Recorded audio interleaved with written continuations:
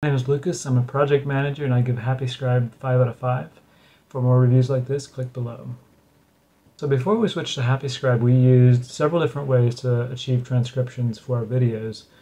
Actually, first we didn't use transcription or only relied on the audio-generated transcriptions from Vimeo. And then we paid for Rev.com and other human transcribing services, and those just got a little bit expensive for us.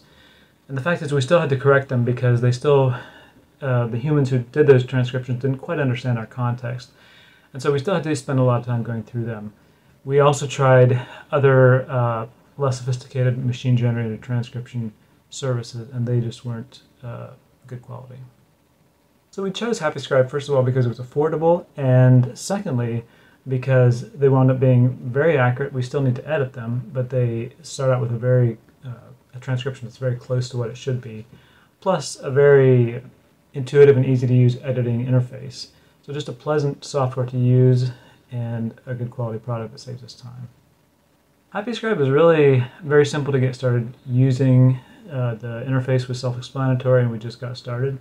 I don't recall that we had any specific problems or questions getting started.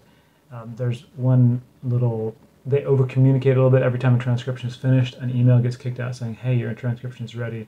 But the fact is they're usually ready in moments, so that's not necessary. But otherwise, that's just a minor nuisance, not a big deal. So we got started using HappyScribe a few years ago, and we've been so satisfied with it, we really haven't shopped around much. I know that AI AI language services have advanced some in the last couple of years, and so if I were looking for something like this today, I would definitely do a little shopping and comparing.